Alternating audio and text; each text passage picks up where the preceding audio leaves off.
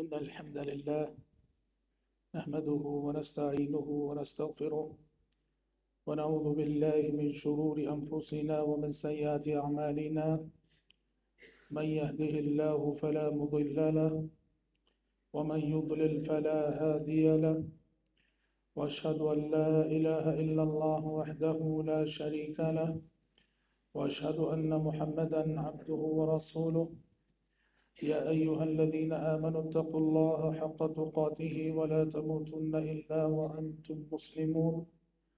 يا أيها الناس اتقوا ربكم الذي خلقكم من نفس واحدة وخلق منها زوجها وبث منهما رجالا كثيرا ونساء. واتقوا الله الذي تساءلون به والأرحام. إن الله كان عليكم رقيبا. يا أيها الذين آمنوا اتقوا الله وقولوا قولا سديدا. يصلح لكم أعمالكم ويغفر لكم ذنوبكم. ومن يطع الله ورسوله فقد فاز فوزا عظيما. أما بعد فإن خير الحديث كتاب الله وخير الهدي هدي محمد صلى الله عليه وسلم وشر الأمور محدثاتها وكل محدثة بدعة وكل بدعة ضلالة وكل ضلالة في النار. أعوذ بالله السميع العليم من الشيطان الرجيم من همزه ونفخه ونفسه. واستعينوا بالصبر والصلاة وإنها لكبيرة إلا على الخاشعين.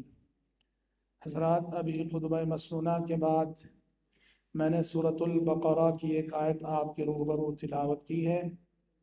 اللہ تبارک و تعالیٰ نے اس آیت میں ارشاد فرمایا کہ زندگی کی مشکلات میں صبر کے ذریعے اور نماز کے ذریعے مدد حاصل کیا کرو۔ وَإِنَّهَا لَكَبِيرَةٌ إِلَّا عَلَى الْخَاشِعِينَ۔ اور صبر اور نماز کے ذریعے مدد حاصل کرنا بہت شاق گزرے گا۔ یہ آسان انہی کے لیے ہے جو خشوع خضوع اختیار کرنے والے اور اللہ کے آگے عاجزی اختیار کرنے والے بندے ہیں۔ آیت کے ترجمے سے آپ نے ملاحظہ کیا کہ اللہ تعالیٰ نے اس آیت میں ہم سب کو، آپ سب کو یہ حکم دیا ہے کہ ہماری زندگی کی جو بھی الجھنیں ہیں، پریشانیاں ہیں، مشکلات ہیں، ان مشکلات میں دو عبادتیں بہت مددگار ثابت ہوتی ہیں۔ جب بھی ہم کسی مشکل میں مبتلا ہوتے ہیں، ان دو عبادتوں سے مدد لینی چاہیے۔ پہلی عبادت نماز ہے اور دوسری عبادت صبر ہے۔ حضرات زندگی میں ہماری اور آپ کی زندگی میں مشکلات جن صورتوں اور جن شکلوں میں آتی ہیں، ان میں سے ایک ہے مرض اور بیماری۔ اسی لیے شریعت نے مرض اور بیماری سے متعلق، مریض سے متعلق بہت سارے احکامات اور بہت ساری تعلیمات دی ہیں۔ آج میں اسی موضوع کے ایک حصے کو لے کر آپ کے سامنے گفتگو کرنے جا رہا ہوں، اور وہ ہے عیادت مریض کے آداب۔ اسلام میں ادب کی بڑی اہمیت ہے۔ ہر کام کو کرنے کا قرینہ سلیقہ، طریقہ اور ادب بتایا گیا ہے۔ کھانا کیسے کھانا چاہیے؟ کھانے کے آداب کیا ہیں؟ پینے کے آداب کیا ہیں؟ سونے جاگنے کے آداب کیا ہیں؟ پہننے اڑنے کے آداب کیا ہیں؟ اسلام میں آپ دیکھیں گے پوری تفصیل کے ساتھ ہر کام کے کرنے کے آداب بتائے گئے ہیں۔ تو انہی آداب میں سے ایک موضوع ہے عیادت مریض کا ادب۔ کسی بھی مریض اور بیمار انسان کے پاس جب ہم جاتے ہیں یا کوئی انسان بیمار ہوتا ہے، تو وہ آداب کیا ہیں جن آداب کا لحاظ ہم سب کو رکھنا ہے۔ سب سے پہلی بات دیکھیے، مریض انسان، بیمار انسان، وہ ہماری اور آپ کی ہمدردی کا مستحق ہوتا ہے۔ ہماری اور آپ کی غمخاری کا مستحق ہوتا ہے۔ شریعت کی تعلیم ہے کہ جب بھی تمہارا کوئی عزیز، دوست، رشتہ دار، قریبی شخص جانا پہچانا بیمار ہوتا ہے، تو اس کے دکھ درد کو بانٹنے کی کوشش کرو۔ مرض کی حالت، بیماری کی حالت، مایوسی کی حالت ہوتی ہے، غم کی حالت ہوتی ہے، دکھ کی حالت ہوتی ہے، تو قریب اس اس مریض اور بیمار کے دکھ درد کو بانٹنے کی کوشش کرو۔ اور اسی حوالے سے شریعت نے کہا کہ جب بھی تمہارے علم میں کسی کے مرض کی خبر آئے تو مریض کی عیادت ضرور کرنا اور عیادت مریض کو ایک مسلمان کے بنیادی حقوق میں سے قرار دیا گیا۔ کہ کوئی بھی مسلمان، ہر مسلمان کے دوسرے مسلمان پر جو حقوق ہوتے ہیں، ان میں سے ایک بنیادی حق یہ بھی ہے کہ جب ہمارے کسی مسلمان بھائی کے بارے میں خبر ملے کہ وہ پریشان ہے، بیماری سے جوجھ رہا ہے، تو اس کی عیادت کرنی چاہیے۔ ہم جب کسی بیمار کی عیادت کرتے ہیں، اخوت اور بھائی چارے کا حق ادا کرتے ہیں۔ اور عیادت نہ کرنے پر باقاعدہ وعید سنائی گئی۔ آپ نے وہ مشہور حدیث سنی کہ کل اللہ تبارک و تعالی روز قیامت حشر کے میدان میں بندے سے کہے گا، بندے دیکھ، میں بیمار تھا، تو نے میری عیادت نہ کی۔ بندہ کہے گا، پروردگارہ، آپ تو رب العالمین ہیں، آپ کیسے بیمار ہوتے؟ اللہ کہے گا، دنیا میں فلا وقت، فلا بندہ بیمار تھا۔ اور تو نے اس کی عیادت نہ کی۔ اگر تو نے اس کی عیادت کی ہوتی تو مجھے ضرور اس کے پاس پایا ہوتا۔ یہ یہ حدیث بتاتی ہے کہ ہمارے جو قرب و جوار میں، ہمارے متعلقین میں جن مسلمانوں سے ہماری معرفت شناسائی اور قربت ہوتی ہے، ان کا مرض اگر ہمارے علم میں ہے تو ان کی بیمار پرسی کرنا، عیادت کرنا بہت بڑا فریضہ ہے۔ اگر نہیں کرتے ہیں تو اللہ تبارک تبارک و تعالیٰ کے ہم اور آپ عطاب کے مستحب بن سکتے ہیں۔ پیارے نبی صلی اللہ علیہ وسلم نے عیادت مریض کو بہت بڑی نیکی قرار دیا۔ آپ نے کہا، عود المریض وَأَطْعِمُ الْجَائِعِ وَفُكُّ الْعَانِ دیکھو، عیادت مریض کو کن نیکیوں کے ساتھ جوڑا جا رہا ہے؟ کہا کہ بیمار کی عیادت کیا کرو، بھوکوں کو کھانا کھلایا کرو، قیدیوں کو رہا کرنے کی کوشش کرو۔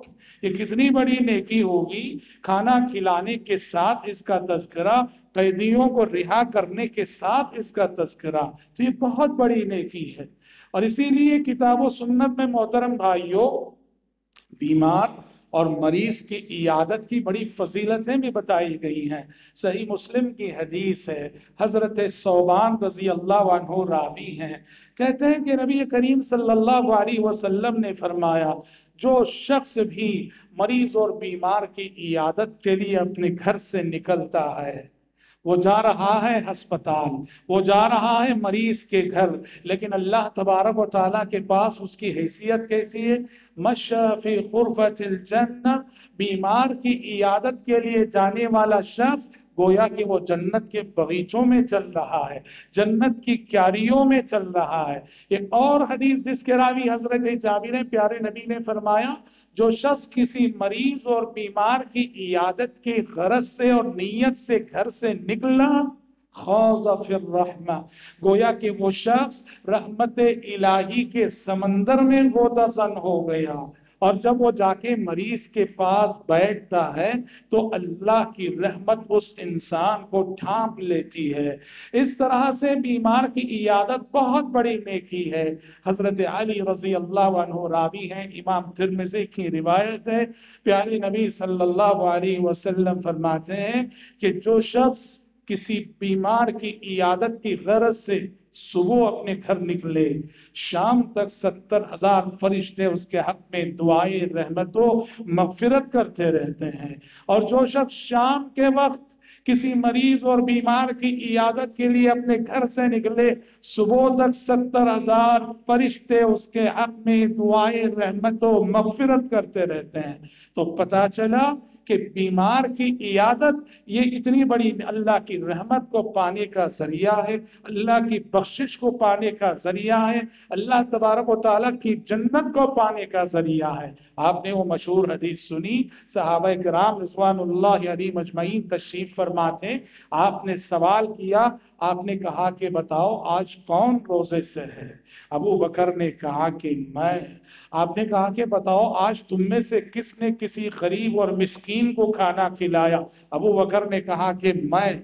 آپ نے کہا کہ بتاؤ آج تم میں سے کس نے کسی مریض اور بیمار کی عیادت کی ہے؟ ابو بکر نے کہا کہ میں۔ آپ نے کہا کہ بتاؤ آج تم میں سے کس نے کسی جنازے کا ساتھ دیا اور جنازے کے پیچھے گیا ہے؟ ابو بکر نے کہا کہ میں۔ پیارے نبی نے کہا، جس کی زندگی میں یہ چار نیکیاں آ جائیں، جمع ہو جائیں، وہ شخص سیدھے جنت الفردوس میں جائے گا، اسے جنت میں جانے سے کوئی چیز نہیں روک سکتی۔ پیارے نبی صلی اللہ علیہ وسلم، دیکھو، آپ بڑی مصروف زندگی گزارتے تھے۔ آپ کی زندگی بڑی دعوت و تبلیغ کی مشغولیات میں مشغول ہوا کرتی تھی۔ اس کے باوجود دسیوں حدیثیں دسیوں حدیثوں حدیثیں جن سے پتا چلتا ہے کہ آپ اپنے مریض اور بیمار صحابہ کی عیادت کے لیے تشریف لے جاتے تھے۔ حضرت سعد بن نبی وقاص رضی اللہ عنہ بیمار ہو گئے، آپ صلی اللہ علیہ وسلم تشریف لے گئے عیادت کے لیے۔ حضرت جابر فرماتے ہیں کہ میں بیمار ہو گیا، پیارے نبی میری عیادت کے لیے تشریف لائے اور میں بے ہوش ہو چکا تھا۔ آپ نے وضو کیا اور وضو کیا ہوا پانی میرے چہرے پہ انڈیلا اور تب میں ہوش میں آیا تو دیکھا کہ آپ ابو بکر صدیق رضی اللہ عنہ کے ساتھ میری عیادت کے لیے آئے ہوئے ہیں۔ حضرت زید بن ارقم فرماتے ہیں، دیکھو ہم سمجھتے ہیں بڑے بڑے امراض، بڑی بڑی بیماریاں ہو تو عیادت کی جاتی ہے۔ نہیں، حضرت زید بن ارقم فرماتے ہیں، ایک مرتبہ میری آنکھ میں تکلیف تھی۔ میری آنکھ میں کچھ تکلیف ہو گئی، پیاری نبی کو اطلاع ہوئی تو حضرت زید بن ارقم فرماتے ہیں کہ وہ آنکھ کی تکلیف کے مسئلے میں میری عیادت کے لیے پیارے نبی تشریف لائے۔ اور آپ کے کریمان اخلاق تھے، آپ صرف اپنے مسلم، اپنے صحابہ کی عادت نہیں کیا کرتے تھے۔ احادیث سے تو اس بات کا بھی ثبوت ملتا ہے کہ غیر مسلم کی عیادت کی بھی آپ نے اجازت دی ہے۔ غیر مسلم جس سے ہمارے تعلقات ہوتے ہیں، ہمارا پڑوسی ہوتا ہے، بزنس میں ہمارا پارٹنر ہوتا ہے، تعلقات کی بہت ساری نوعیتیں ہو سکتی ہیں۔ غیر مسلم کی عیادت کی نہ صرف آپ نے اجازت دی، بلکہ آپ صلی اللہ علیہ وسلم خود عیادت کے لیے تشریف لے گئے۔ بخاری کی حدیث ہے۔ ایک یہودی لڑکا، ایک یہودی نوجوان تھا جو پیارے نبی کی خدمت کیا کرتا تھا۔ آپ صلی اللہ علیہ وسلم کو پتا چلا کہ وہ یہودی لڑکا بیمار ہو گیا ہے۔ وہ یہودی نوجوان بیمار ہو گیا ہے۔ آپ صلی اللہ علیہ وسلم سیدھے اس کے گھر تشریف لے گئے۔ سیدھے اس کے گھر تشریف لے گئے۔ دیکھا حالت غیر ہے۔ لگا کہ شاید چند لمحوں اور چند منٹوں کا مہمان ہے۔ تو آپ صلی اللہ علیہ وسلم نے عیادت کرتے ہوئے اس نوجوان کو کلمہ پڑھنے کی تلقین کی۔ جیسے ہی آپ نے کلمہ پڑھنے کی تلقین کی، وہ نوجوان باپ کو دیکھنے لگا، باپ سرانے بیٹھا تھا۔ تو باپ نے کہا اتعب القاسم۔ ابو القاسم کی بات مان جاؤ۔ پیارے نبی کی کنیت تھی ابو القاسم تو فوراً وہ بچہ، وہ نوجوان آپ صلی اللہ علیہ وسلم کی تلقین پر کلمہ پڑھنے لگا اور کلمہ پڑھ کے چند ہی لمحے گزرے تھے کہ اس کی روح قفص انصری سے پرواز کر گئی اور انتقال کر گیا۔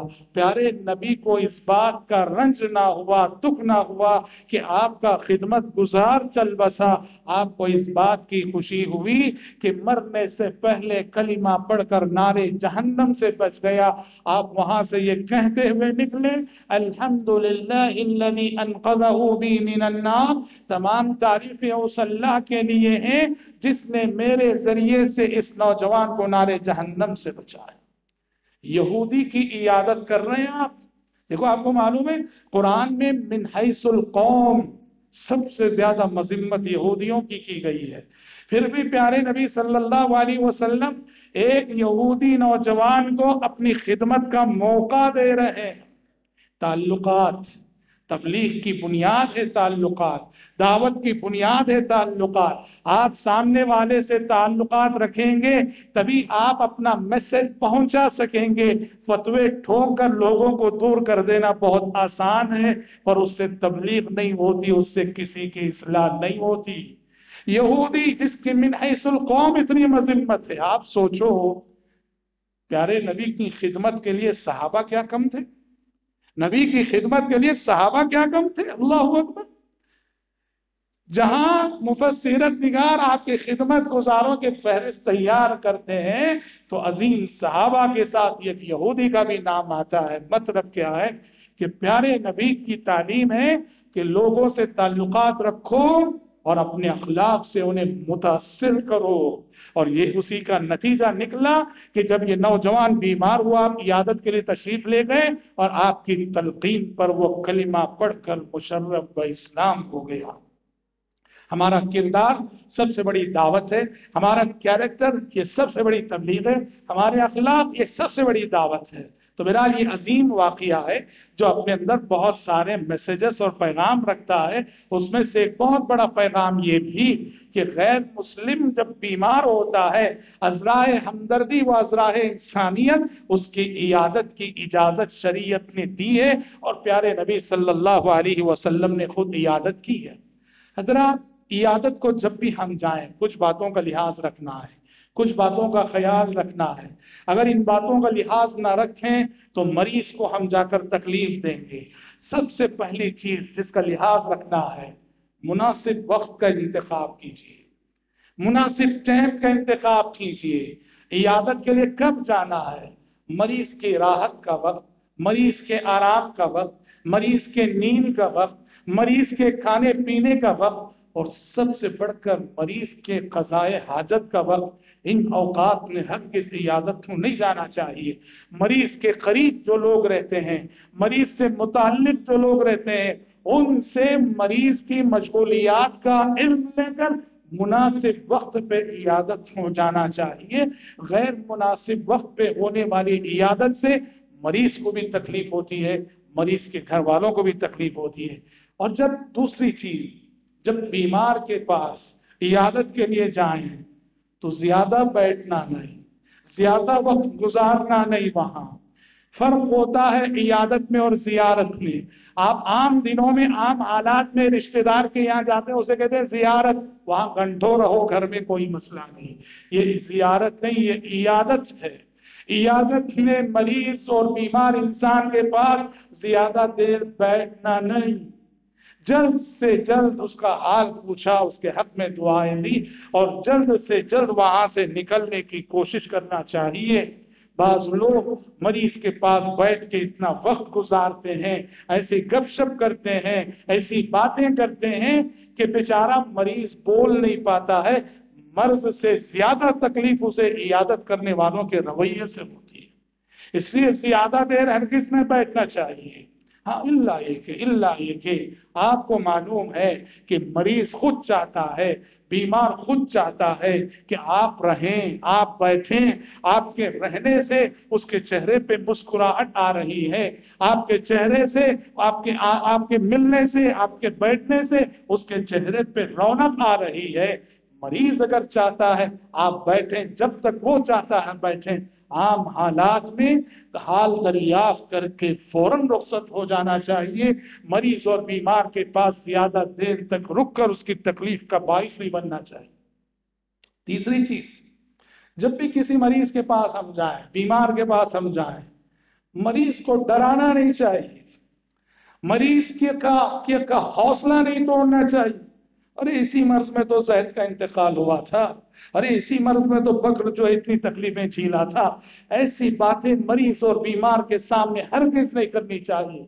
وہ مرض کیسا بھی ہو، کوئی بھی کیوں نہ ہو، ہماری گفتگو کیسی ہونی چاہیے۔ بیمار کو امید دلانے والی گفتگو، بیمار کا حوصلہ بڑھانے والی گفتگو، بیمار کو ہمت دلانے والی گفتگو، اس کا حوصلہ جب بڑھتا ہے، اس کی ہمت جب بڑھتی ہے، امید جب اس کے اندر پیدا ہوتی ہے، تو وہ نفسیاتی اعتبار سے بیماری کا مقابلہ کرنے کے لیے غیر معمولی طاقت اس کے اندر پیدا ہوتی ہے۔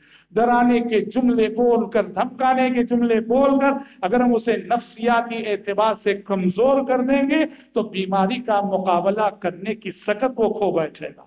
جب پیارے نبی صلی اللہ علیہ وسلم سعد بن نبی وقاص رضی اللہ عنہ کے پاس گئے تھے ان کی بیماری کے وقت، حضرت سعد کو یوں لگا کہ شاید یہ میرا مرض الموت ہے، شاید میں بچوں گا نہیں، شاید میرا انتقال ہو جائے گا۔ وہ فوراً وسیعت کے بارے میں پوچھنے لگے، میراث کے مسائل پوچھنے لگے، کہنے لگے، اللہ کے نبی، میری تو بس ایک ہی بیٹی ہے، میں پورا مال چاہتا ہوں کہ اللہ کے راستے میں صدقہ کر دوں، کیا کروں میں؟ انہیں لگا کہ میں وہ انتقال ہونے والا ہوں گا۔ پیارے نبی نے حوصلہ دلایا، ہمت دلائی۔ ویسے آپ نبی تھے، وحی الہی آپ کو بتایا کرتی تھی، آپ نے اس کی بنیاد پہ حوصلہ دلایا۔ ہم جو حوصلہ دلائیں گے حسن زن کی بنیاد پر۔ اللہ سے حسن زن کی بنیاد پر۔ آپ نے حضرت سعد سے کہا، سعد، مایوس نہ ہونا۔ مایوس نہ ہونا۔ لگتا ہے ابھی تمہاری زندگی باقی ہے۔ تمہیں ابھی زندگی میں بہت کچھ کرنا ہے۔ تم سے ابھی اسلام کو بہت فائدہ ہونا ہے۔ تم سے ابھی کفر کو بہت نقصان پہنچنا ہے۔ دیکھیں کیا جملے آپ صلی اللہ علیہ وسلم کے۔ کہا کہ ابھی زندگی میں بہت کچھ کرنا ہے تمہیں۔ اسلام کو بہت فائدہ ہونا ہے ابھی تم سے، کفر کو بہت نقصان ہونا ہے تم سے۔ چنانچہ یہ پیشن گوئی کیسے پوری ہوئی دیکھیے۔ عہد خلافت راشدہ کی سب سے مشہور جنگ، سب سے مشہور مارکہ، جسے اسلامی ہسٹری میں جنگ قادسیہ کے نام سے جانا جاتا ہے۔ جنگ قادسیہ حضرت سعد بن نبی وقاص رضی اللہ عنہ کی کمانڈنگ میں لڑی گئی۔ اسلامی تاریخ کی سب سے بڑی جنگ۔ جو آپ نے ان کے مرض کے وقت پیشن گوئی کی تھی کہ مایوس نہ ہونا بھی تمہیں زندگی میں بہت کچھ کرنا ہے۔ تو اس سے یہ معلوم ہوتا ہے کہ مریض کے سامنے امید دلانے والی گفتگو کرنی ہے۔ اس کا حوصلہ توڑنے والی گفتگو نہیں۔ اور جب بھی ہم مریض کے پاس جائیں، اسے بشارتیں سنائیں۔ اسے بشارتیں سنائیں۔ کون سی بشارتیں؟ دیکھو، مریض مایوس ہوتا ہے، نا امید ہوتا ہے۔ اور مستقبل کو لے کر مختلف اندیشوں میں مبتلا ہوتا ہے۔ ایسی صورتحال میں اسے بشارتیں سنانا چاہیے۔ صبر کی تلقین کرتے ہوئے۔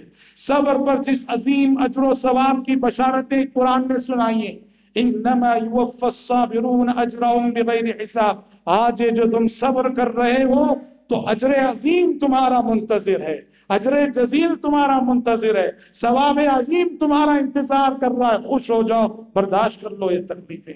میں مریض کو وہ حدیثیں سناؤ جو حدیثیں کہتی ہیں کہ مومن کو مومن کو، ایک مسلمان کو زندگی میں جو بھی دکھ، درد، رنج، غم لاحق ہوتا ہے حتیٰ کہ چونٹی بھی اگر کاٹتی ہے، چونٹی کی کاٹ کی تکلیف پر بھی مومن کے گناہ معاف ہوتے ہیں اور مومن کے درجات بلند ہوتے ہیں۔ مریض جو بیماری اور درد سے تھڑپ رہا ہوتا ہے، کراہ رہا ہوتا ہے، اسے یہ حدیثیں سناؤ جو پیارے نبی نے فرمائی ليودن أهل العافية يوم القيامة. يهدي دي السنية الله أكبر. ليودن أهل العافية يوم القيامة. لو أن جلودهم قرزت بالمقاريز مما يرون من ثواب أهل البلاء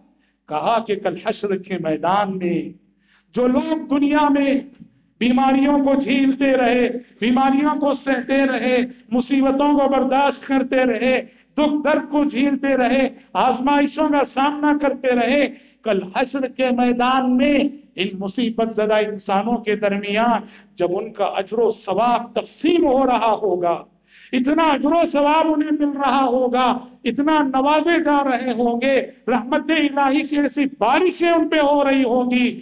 جو لوگ دنیا میں چین سے رہے، امن سے رہے، سکون سے رہے آفیت سے رہے، وہ حشر کے میدان میں ان مصیبت زدہ انسانوں کے اجر و ثواب کو دیکھ کر یہ تمنا کریں گے۔ کاش کاش، دنیا میں بھی ہم پر ایسی تکلیفیں گزرتی کہ ہماری چمڑیوں کو قینچیوں سے کاٹ کاٹ کے ٹکڑے کر دیا جاتا کہ ہماری چمڑیوں کو کینچیوں سے کاٹ کاٹ کے ٹکڑے کر دیا جاتا کہ آج اس عظیم اجر و ثواب کے ہم بھی مستحق ٹھہرتے آفیت نے آفیت نے ہمیں اس عظیم اجر و ثواب سے محروم کر ڈالا۔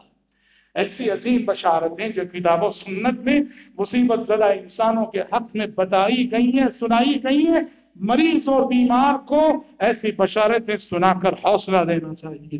اور حضرات جب بھی مریض کے پاس جائیں اپنی گفتگو کے ساتھ ساتھ، دلاسا دلانے کے ساتھ ساتھ مریض کے حق میں شفا کی جو مسنون دعائیں آئی ہیں، وہ مسنون دعائیں کرنا نہ بھولیں۔ کیا ہے مسنون دعائیں؟ بہت ساری دعائیں آئی ہیں۔ چھوٹی سی دعا، لا بأس طہور انشاءاللہ۔ اذهب البأس رب الناس واشف انت الشاف۔ لا شفاء الا شفاء شفاء لا يغادر سقما۔ یا بہت ہی مختصر دعا اگر آپ کہتے ہیں، تو مریض کا نام لے کر کہیں، اللہم اشفی زیدن، اللہم اشفی بکرن، اللہم اشفی عبداللہ۔ کیونکہ جب حضرت سعد کے پاس پیارے نبی گئے تھے، تو آپ نے نام لے کے دعا کی، کہا، اللہم اشفی سعدن، اللہم اشفی سعدن۔ اے اللہ، سعد کو بھی شفا دے دے، سعد کو شفا دے دے۔ پتا چلا، دعا دیتے ہوئے مریض کا نام لے کے دعا دینا مستحب اور ان دعاؤں میں کچھ دعائیں ایسی ہیں جو بڑی فضیلت والی ہیں۔ اسأل اللہ العظیم، رب العرش العظیم، ان یشفیک۔ ابن عباس رضی اللہ عنہ فرماتے ہیں کہ پیارے نبی صلی اللہ علیہ وسلم نے فرمایا، کوئی بھی عیادت کرنے والا کسی بیمار کے پاس جائے اگر اس بیماری میں اس کی موت مقدر نہ ہوگی، تو سات مرتبے اگر یہ دعا پڑھ رہے وہ اسأل اللہ العظیم، رب العرش العظیم، ان یشفیک، تو یہ شفا مل کر رہے گی اور یقیناً مل کر رہے گی۔ عظیم صحیح حدیث ہے۔ حضرت ایک اور دعا ہے۔ بسم اللہ بسم اللہ بسم اللہ۔ تین مرتبے پڑھنے کے بعد، اعوذ بعزت اللہ وقدرته من شر ما اجد وحادر عثمان بن ابی العاص السقفی رضی اللہ عنہ کہتے ہیں، میرے بدن میں ایک جگہ مجھے سالوں سے درد ہوا کرتا سالوں کا درد، بہت پرانا درد۔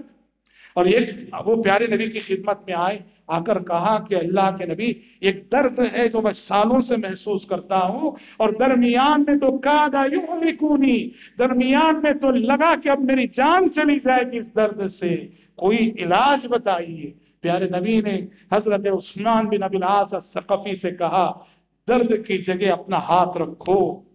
درد کی جگہ اپنا ہاتھ رکھو، اپنی انگلیاں رکھو اور تین مرتبے بسم اللہ پڑھو اور اس کے بعد یہ دعا کہ اعوذ بعزت اللہ وقدرته من شر ما اجد و حاضر بار بار پڑھنے کی تلقین آپ نے فرمائی. حضرت عثمان ابن ابی العاص السقفی فرماتے ہیں کہ پیارے نبی کی بتائی ہوئی اس دعا کو کیا پڑھا کہ سالوں کا درد چلا گیا، سالوں کا درد ختم ہو گیا. ایک اور دعا. بسم اللہ، تربت ارضنا، بریقت بعضنا یشفا سقیمنا بِإِذْنِ رَبِّنَا، زخم اگر پھوڑے اگر ہیں، تو ام المومنین فرماتی ہیں کہ کسی کو بھی زخم اگر پھوڑے ہوتے تھے، پیارے نبی صلی اللہ علیہ وسلم اس دعا کے ذریعے علاج کرتے۔ ہاں اس کا طریقہ یہ ہے، اپنی انگلی پہ لعاب لینا ہے، اپنی انگلی پہ لعاب لگانا ہے، اور پھر اس کو اس کے ذریعے سے مٹی لینا ہے۔ اس لعاب کو زمین کی مٹی لگانا ہے، اور مٹی لگانے کے بعد زخم پہ انگلی رکھ کر یہ دعا پڑھنا ہے۔ بسم اللہ تربت ارضنا بریقت بعضنا یشفا سقیمنا باذن ربنا ایمان و یقین کے ساتھ ان اذکار کو، ان دعاؤں کو آزما کر دیکھئے رب العزت نے کیسے شفا اس دعا میں رکھی ہے۔ اور اگر مریض اور بیمار لگ رہا ہے کہ یہ مرض الموت ہے، آخری ساتیں ہیں، آخری گھڑیاں ہیں، آخری ایام ہیں، اگر ایسا اندیشہ ہو، تو پھر عیادت کرنے والوں کو چاہیے کہ مریض کو دو باتوں کی تلقین۔ پہلی تلقین کلیم طیبہ، لا الہ الا اللہ کی۔ مریض کے پہلو میں بیٹھ کر، بازو بیٹھ کر، زور سے با آواز بلند، لا الہ الا اللہ ہم خود پڑھتے رہنا چاہیے۔ بار بار مریض سے نہیں کہنا چاہیے، پڑھو پڑھو، کیونکہ وہ چڑچڑا پن ہوتا ہے۔ کہیں اگر وہ اس مزاج کی وجہ سے نہیں پڑھوں گا، کہہ دے گا، تو اچھی بات نہیں۔ اس لیے مریض کے پہلو میں بیٹھ کر اتنی بلند آواز سے کہ مریض سن سکتا ہو۔ ہم لا الہ الا اللہ پڑھیں، ہمیں سن کر مریض بھی پڑھے گا۔ کلمے کی تلقین۔ اور دوسری چیز، اس نازک گھڑی پر، اس نازک موقع پر اللہ تبارک و تعالیٰ سے حسن زن کی تلقین کرنا چاہیے۔ کہا کہ رب العزت رب العزت جو ارحم الراحمین ہے، بندوں کے گناہوں کو معاف کرنے والا ہے، عیبوں کو چھپانے والا ہے، اس کے پاس جا رہے ہو، تمہیں ڈرنے کی ضرورت نہیں۔ امید ہے کہ ہمارا رب آپ کے ساتھ فضل و کرم کا معاملہ کرے گا۔ امید دلانی چاہیے۔ کیوں؟ آپ کی تعلیم اور آپ کی حدیث ہے، آپ نے فرمایا۔ لا يموتن احدكم الا وهو يحسن بالله الظن. لا يموتن احدكم الا وهو يحسن بالله الظن. آپ نے فرمایا کہ تم میں سے کوئی بھی شخص مرے تو اس حال میں مرے کہ وہ دنیا سے جاتے ہوئے اللہ تعالیٰ کے ساتھ حسن زن لے کے جاتا ہو اچھا گمان لے کے جاتا ہو۔ ہر مرنے والے مسلمان کو تلقین کی جا رہی ہے۔ دنیا سے جاتے ہوئے خوف اپنی جگہ ہے عذاب کا، جہنم کا۔ لیکن اللہ سے امید لے جاؤ، حسن زن لے جاؤ۔ اللہ تعالیٰ خیر کا معاملہ فرمائے گا۔ اسی تعلیم کی وجہ سے عیادت کرنے والے کو بھی چاہیے۔ ایسی گفتگو مریض اور بیمار سے کرے جو اسے رحمت الہی کی امید دلائے۔ اور حضرات، مریض کے پاس جب ہم جاتے ہیں بیمار کی عادت کے لیے، تو صرف مریض کی خاطر نہیں، وہ جانا ہمارے لیے بھی ہے۔ وہاں جا کر ہمیں بھی بہت کچھ سیکھنا ہے۔ وہاں جا کر آفیت کتنی بڑی نعمت ہے جو ہمیں ملی ہے۔ صحت کتنی بڑی نعمت ہے جو ہمیں ملی ہے۔ تندرستی کتنی بڑی نعمت ہے جو ہمیں ملی ہے۔ تو آفیت اور تندرستی کی نعمت کا احساس کرنا چاہیے۔ اور احساس کر کے رب رب العالمین کا شکر ادا کرنا چاہیے۔ اور شکر ادا کرنے کی تعلیم کیسے؟ دعا سکھائی گئی ہمیں کہ جب بھی کسی مصیبت زدہ انسان کو دیکھو تو یہ دعا پڑھا کرو۔ الحمدللہ الذي عافانی مما ابتلاک به وفضلنی على كثير ممن خلق تفضیلا۔ لیکن یاد رہے، یہ دعا یوں نہیں پڑھنی چاہیے کہ بیمار سنے بیمار کو یہ دعا نہیں سنانی چاہیے۔ اپنے آپ میں پڑھنا چاہیے۔ شکر ہے اس اللہ کا جس نے مجھے اس مصیبت سے نجات دی ہے آفیت سے رکھا ہے، جس مصیبت میں کہ اللہ نے تمہیں مبتلا کر رکھا ہے۔ وَفَضَّلَنِي عَلَى كَثِيرٍ مِّمَّنْ خَلَقَ تَفْصِيلًا اور اپنی مخلوقات نے اس نے مجھے بڑی فضیلت دے رکھی ہے۔ تو یہ جو دعا ہے، مریض کو سنانا نہیں چاہیے۔ احساس نعمت کے ساتھ اپنے آپ میں، اپنے دل میں، اپنی زبان سے آہستہ سے ہمیں یہ دعا پڑھنا چاہیے۔ اور حضرات یقین کیجیے، کتنے مریض ایسے ہیں کہ ان مریضوں کی حالت کو دیکھ کر کتنے صحت مند انسانوں کی دنیا بدل گئی۔ جو بے دین تھے، بے نمازی تھے، مسجدوں کا پتہ جنہیں نہیں معلوم تھا، اپنے اعزاء و اقارب اور رشتہ داروں، دوست و احباب میں سے بعض مریضوں کی صورتحال دیکھنے کے بعد ایسا سبق وہ لیتے ہیں کہ دوسرے کی بیماری میں ان کی اصلاح کر دوسرے کی بیماری نے ان کی تربیت کر دی، دوسرے کی بیماری نے انہیں سدھار دیا۔ تو لہٰذا ہمارے سامنے کوئی بھی مریض اور بیمار ہوتا ہے، اس کی بیماری میرے لیے آپ کے لیے بھی بہت بڑا پیغام رکھتی ہے۔ انابت اللہ اللہ کی طرف رجوع کرنے کا پیغام، توبہ نسو کا پیغام، خود کو سدھارنے اور سوارنے کا پیغام۔ حضرات مریض کی عادت کے حوالے سے جو گفتگو ہوئی ہے، تو ایک بات بتا کر میں اپنی گفتگو کو ختم کرنا چاہوں گا۔ سوشل میڈیا کا زمانہ ہے۔ آج ہم لوگ اپنی ہر چیز کو، ہر چیز کو، ہر بات کو سوشل میڈیا میں لانے کو ضروری سمجھتے ہیں۔ تو یہ بہت بڑی غلطی جو سماج اور معاشرہ کر رہا ہے، اس میں سے یہ کہ جو لوگ بیمار ہوتے ہیں مریض ہوتے ہیں ہسپتال میں ایڈمٹ ہوتے ہیں ایسی یوں میں ہوتے ہیں ان کی تصویریں لینا اور اسے سوشل میڈیا پہ عام کرنا۔ آپ کی نیت اچھی ہے۔ آپ ان کے لیے دعائیں چاہتے ہیں۔ آپ چاہتے ہیں کہ لوگ ان کے حق میں دعا دیں، مگر یاد رکھو، مریض جس حال میں ایسی میں ہوتا ہے، ہسپتال میں ہوتا ہے، بیماری کے لباس میں، مایوسی کے عالم میں، سنجیدہ انسان نہیں چاہتا۔ کہ اس شکل میں اسے کوئی دنیا والے دیکھیں، اسے اچھا نہیں لگتا۔ تو ایسے میں ہم اس کی اس شکل کو، اس تصویر کو، آکسیجن لگا ہوا ہے، گلوکس چل رہا ہے، بیماری کے لباس میں ہے، مایوسی کے عالم میں ہے، چہرہ اترا ہوا ہے، مینا کچہرا بدن ہے۔ ایسی تصویروں کو لے کے سوشل میڈیا پہ جو ڈالتے ہیں، یاد رکھو اس مریض اور بیمار کی آبرو کے ساتھ یہ بدترین کھلواڑ ہے۔ اس کھلواڑ سے للہ بچیے آپ لوگوں سے درخواست کریں، دعا کی اچھی بات ہے۔ تصویر ڈالنا کوئی ضروری نہیں ہے۔ یہ ایک منکر ہے، یہ غلط کام ہے جو معاشرے میں بہت پھیل رہا ہے۔ اس سے اجتناب کرنا چاہیے۔ دعا ہے رب العزت سے پروردگار عالم۔ مجھ کہنے والے کو بھی آپ سبھی سننے والوں کو بھی اللہ ہم سب کو آپ سب کو ہر چھوٹے بڑے مرض سے بچائے، ہر چھوٹی بڑی بیماری سے اللہ ہم سب کو عافیت میں رکھے۔